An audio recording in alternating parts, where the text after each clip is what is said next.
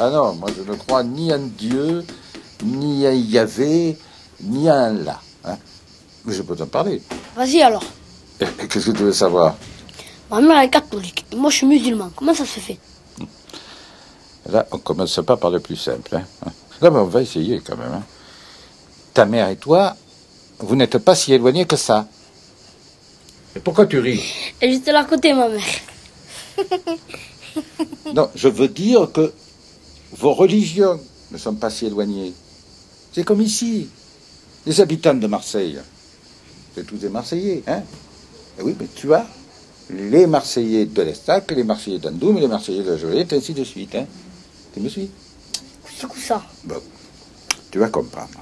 Les Marseillais de l'Estac, par exemple, ça serait les musulmans, ceux d'Andoum, les chrétiens, ceux de la Joliette, les juifs, mais c'est tous des Marseillais.